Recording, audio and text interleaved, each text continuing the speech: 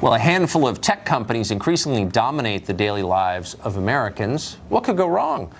Whether you're shopping, socializing, working, or learning, odds are you'll be spending an awful lot of time using Amazon, Facebook, Google, and a couple of others. Can we count on the goodwill of these companies? That's a rhetorical question. Dennis Prager operates Prager University, which creates videos online to educate people. He's recently sued Google and its subsidiary YouTube. He says they've deliber deliberately restricted his videos so they have less reach and are ineligible for ad revenue. Dennis Prager joins us tonight. Dennis, that's a heavy duty charge. Um, clearly, I don't think you would have filed a lawsuit without evidence to support it. Tell us what you know, why they did this to you. They have uh, placed on their restricted list. That means that it can't be viewed in libraries, in schools, or any home that filters out pornography, for example. Cannot be seen in any of those places. Our videos are as, as innocent as exists on the internet. Four Pulitzer Prize winners, professors from Stanford, MIT, Harvard, Yale. I mean, it is about as normative con and conservative, but we don't only have conservatives. Alan Dershowitz has given a number of videos, and by the way, his video was placed on the restricted list as well. Uh, oh, there we have we when you understand which ones, for example, uh, for example, I gave a video, and I only give 15% of the uh, 260 or so videos that are there and they're all five minutes long. We have 500 million views this year, so it's rather large. This is a big deal, this suit.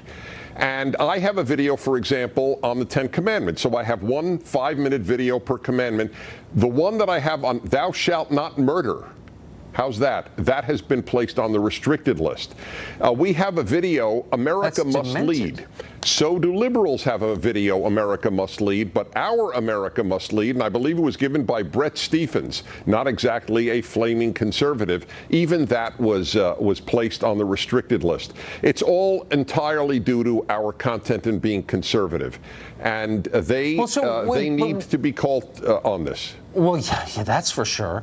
What you've said, and I believe you because I know you and I know that you're a, a, a religious and moral man um, and you're smart.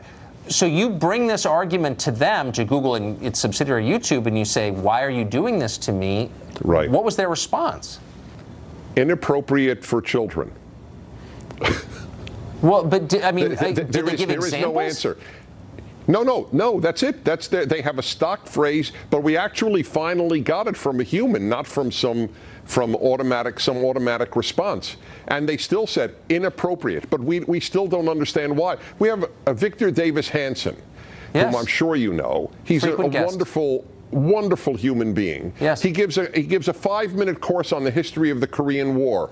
That if America looks good, it's sen- it's uh, not sent. Well, censored is probably an appropriate word. It's restricted. If Israel looks good, it's restricted. Uh, uh, it, it's it, it's almost it's almost uh, uh, predictable what they would uh, restrict. And and it's the point is this that they should say, look. We are liberal or left wing organizations. We don't want to give a forum for others. Yeah. And then I have I have no issue. Well, but they, that, they say but, that they, they are they a public forum over our information. And that, that's not honest.